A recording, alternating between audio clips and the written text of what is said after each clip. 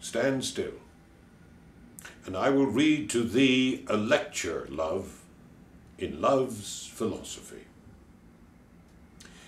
These three hours that we have spent walking here, two shadows went along with us, which we ourselves produced.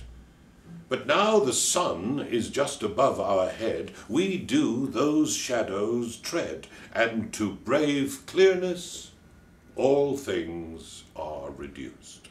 So, whilst our infant loves did grow, disguises did, and shadows flow from us and our cares.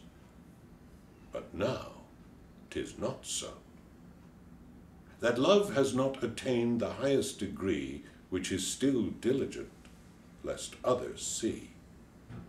Except our loves at this noon stay, we shall new shadows make the other way. As the first were made to blind others, these which come behind will work upon ourselves and blind our eyes. If our loves faint and westwardly decline, to me thou falsely thine, and I to thee mine actions shall disguise.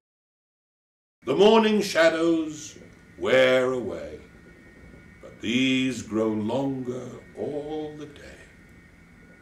Love is a growing or full constant light, and his first minute after noon is night.